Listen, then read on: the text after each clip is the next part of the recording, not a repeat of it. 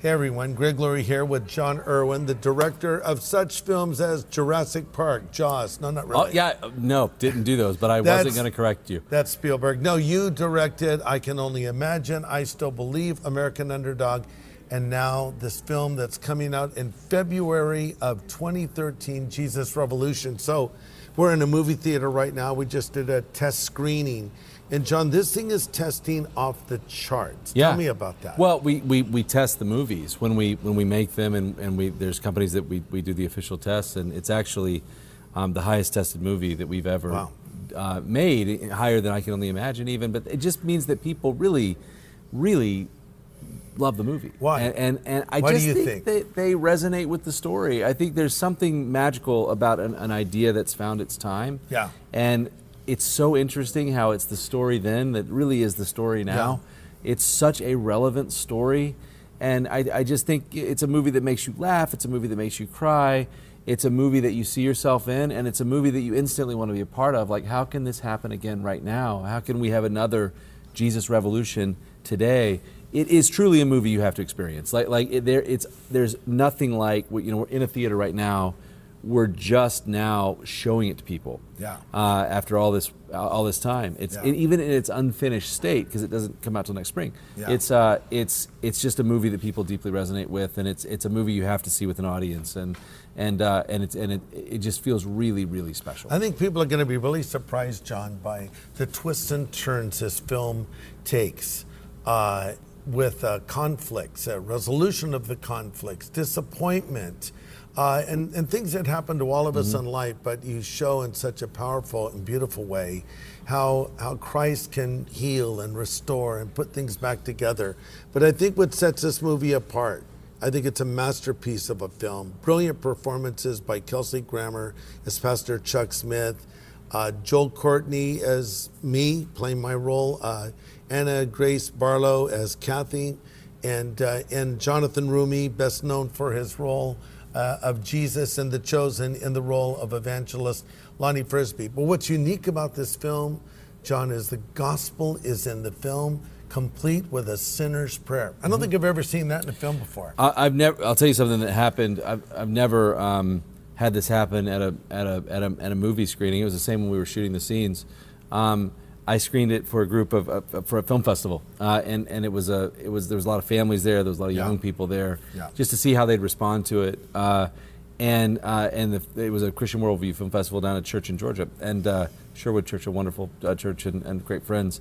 And they literally had to tear down the screen after the movie because I think it was like 16 kids wanted to be baptized Wow. when they saw it at a film festival. Wow. And it, I've never had anything like that happen. And I just think that Yeah. that is going to be what's going to happen when people see this movie. They're going to say, "I want this to happen in my life." Wow. You know, it's life uh, imitating art. yeah. even when we were shooting the baptism scenes, and the and the Pirates Cove plays a key role in this movie, beginning, middle, and end.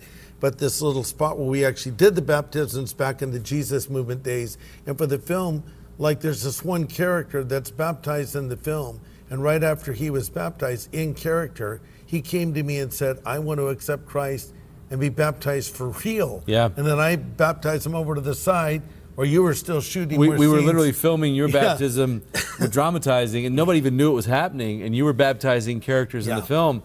Not only that, you, you know, you taught Jonathan, uh, uh, you know, how to. You went, you took him to baptism school, Yeah. and you were teaching him how to how to not throw your back out and what to say. Yes. The baptism, the, the, the, the sinner's prayer in the in the movie. Yeah. You know, you you wrote and taught it to Jonathan, and he was he was doing those performances, and he came.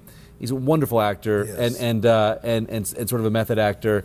And he came out of the water. He came to me. He's like, I just want you to know, this is happening for real. Like these extras, Wow. the they're actually making decisions for Christ. I think I'm doing it the right way. I just want to check with Greg. Wow. I'm taking this very seriously. And it was like seven or eight people, Incredible. and it just there was it was in the air. The power was in the air, and to be at the same place that those events actually happened, and feel that same power, I just I think that Yeah. it can happen again. So we have a bold vision for this film. I see this as more than a film. I think this can become a movement. Uh, Only God can make that happen. But we're going to do everything we can to make this film successful. In fact, our vision and our goal is to make this the number one film in America when it opens. Um, what is the exact date it opens? It's Feb, uh, Feb 24. It's uh, it's uh, February 24, and Jesus being number one at the box office would be amazing. Yes. Uh, but I think it would Jesus also. Jesus Revolution is the I, title. I think it would also, uh, you know, I believe that if we can launch the movie correctly and unify our voice together Yeah. as believers, um, I think millions and millions of people that need the movie will see it. That's the way movies work, and and I think it would be really if we could if we could unify our voice and and, and rally around this movie and this concept Yeah. that God did it once. He can do it again, Amen. and he can do it now, and he can do it in my life and in my family and in my in my generation and my time. And uh, and I and I think that, that launching the movie correctly is a huge part of that. And we want to be ready on the back end with follow up to provide New Believers Bibles, which is a special edition of the New Testament that I wrote these notes for. There's 10 million of them in print, but it has the gospel in it, follow up steps on how to grow as a Christian. We want to provide every person that sees a number at the end of the screen that they can text. Uh, we want to supply them with one of these Bibles and then follow up on them. So there's a QR code on the screen right now. If you scan that QR code, you can find out more about how to support the revolution. The revolution is coming, the Jesus revolution. It's a film, but our prayer is it will become even something more than a film. Yeah, I just think I, my daughter just turned 13, you know, and uh, my prayer is that what, what God did in your generation when you were a teenager, Yeah. God can do as my daughter's becoming a teenager. God can do it now. We need it. We're ready for it. Uh, uh, we need another Jesus revolution now, and and uh, and I think it can happen. I think if it doesn't happen, our country is in deep trouble because, you know, it's not a political revolution we need, it's not a moral revolution we need, it's a Jesus revolution we need. We need a spiritual awakening. It may be America's only hope. Well, it worked before. You know what's interesting is when we did the research and, and we talked, um, when I talked to you and so many other people, this word desperation just Yeah. kept coming up. It's, it's like it was a time where we were all just desperate. Yeah. And I, I've never felt more desperate in my lifetime in America. Like we just need hope. We need help, uh, and we need God, and uh, and and we sort of we need each other. And so I think we're reaching that same moment Yeah. and when it was really bleak and it was really dark.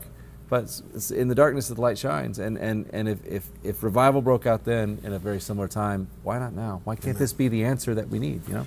Yes, let's pray to that end. I once asked Chuck, I'll close with this, but a number of years ago, I was sitting with Chuck having lunch, you know, who's portrayed in this film by Kelsey Grammer. And I said, Pastor Chuck, do you think we'll ever see another Jesus movement? And he said, You know, Greg, I'm not sure. I don't know if we're desperate enough. But I actually think we become more desperate since that day I asked him that question. Mm-hmm. And th- that's what we need desperation and call on the Lord. And he says, And I'll do great and mighty things. So let's pray to that end. Jesus Revolution coming in the spring of 2023. Hey, everybody, thanks for listening to this podcast. To learn more about Harvest Ministries, follow this show and consider supporting it. Just go to harvest.org. And to find out how to know God personally, go to harvest.org and click on Know God.